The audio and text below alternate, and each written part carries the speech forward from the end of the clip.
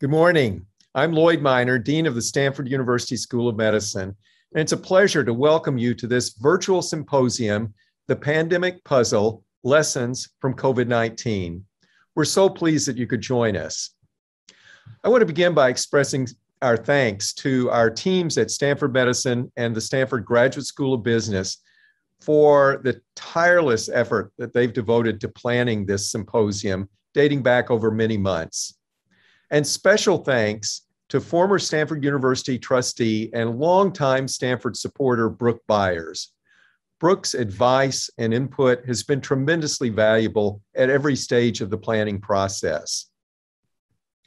Now, when John Levin, the Dean of the Graduate School of Business at Stanford, and I began discussing the idea, the notion of having a symposium on the pandemic, it was during the dark days of the winter uh, of 2020, 2021. And then, and we were experiencing our surge in cases here in the Bay Area at that time in January of 2021. Then it seemed like, well, the vaccines were being distributed and we were starting to see some decline in numbers of cases here in the Bay Area. And surely by summer, we'll be beyond COVID 19 and we can plan a symposium for the fall that would be a retrospective and looking forward on what we can learn um, in order to mitigate and prevent pandemics in the future.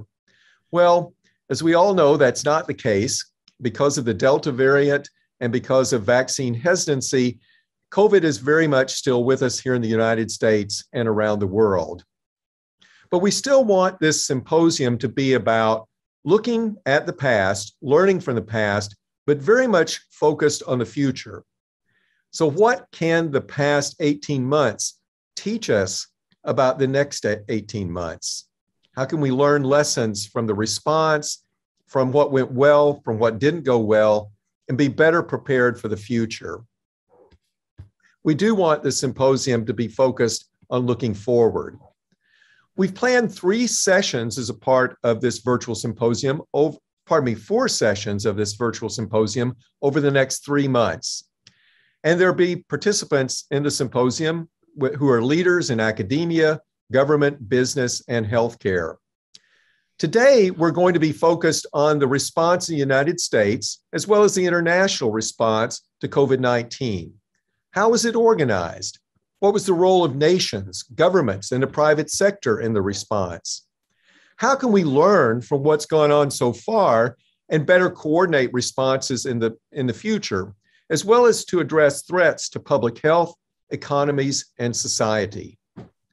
Our three subsequent sessions after today's session will cover, will cover other critical topics, such as achieving health equity and inclusive recovery, defining the tools and techniques needed to track and mitigate pandemics, and building upon the remarkable biomedical advances that we've seen so powerfully displayed during this pandemic. We hope that through these four sessions, we'll be able to have a more complete picture of the challenges surrounding COVID 19 and the path forward.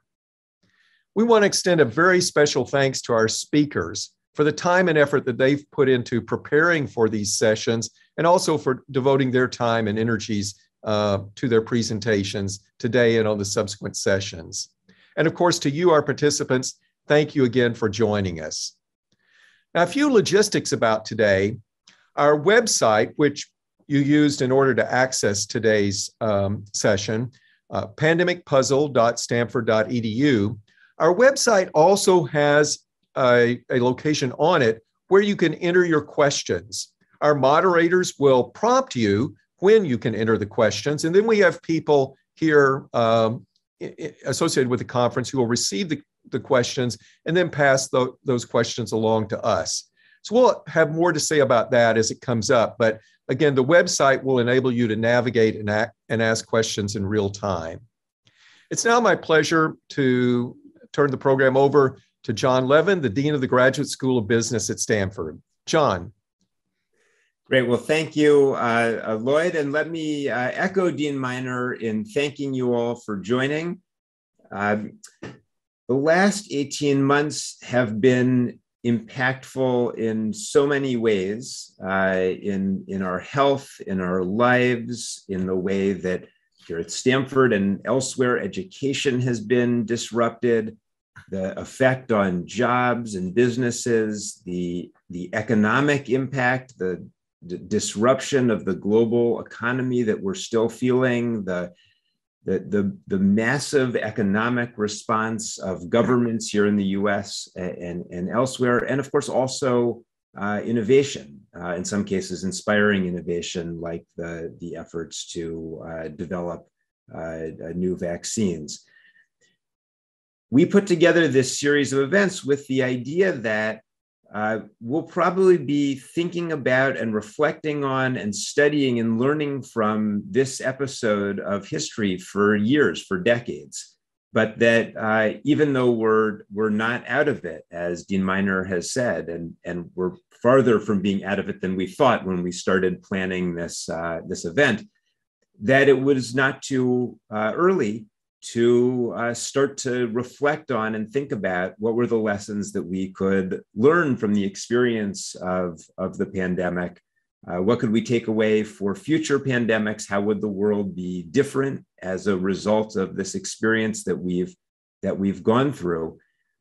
And uh, and that um, the purpose of this series would not necessarily be to answer every question or to uh, give the final word. Rather, it would be to, uh, to lay out a set of questions, to spark discussion and debate, to get people thinking about how would the world be different? What could we learn from this experience? How could we have a more uh, sustainable and resilient future uh, as a result of, of learning something from, from this experience? And we felt it would be uh, important to do that at, at Stanford. Uh, that uh, we are thinking all across our campus about um, uh, what can we learn from uh, the experience of the pandemic uh, at the medical school about the consequences for public health systems, for public health, for medical innovation, for healthcare here at the business school, where we just welcomed our students back for happily an in-person academic year, thinking about uh, how will we prepare students to be leaders in a post-COVID world that we know will be different and will place different demands on, on business? Uh, work will be different, organizations will be different, the global economy will be reshaped as the result of this. And I'm really excited for the series of events that we're going to have and what we're going to learn and the people we're going to hear from. I'm very grateful to Brook Byers and our teams at the medical school and the business school who helped us to put this event together thrilled that we have such esteemed speakers. Really looking forward to lively discussion today. And um, I hope we're going to uh, offer some topics and panels and sessions uh, that will uh, inspire insight and, and provoke some thinking. And um, uh, with that, I'll turn it back to Dean Minor to kick things off.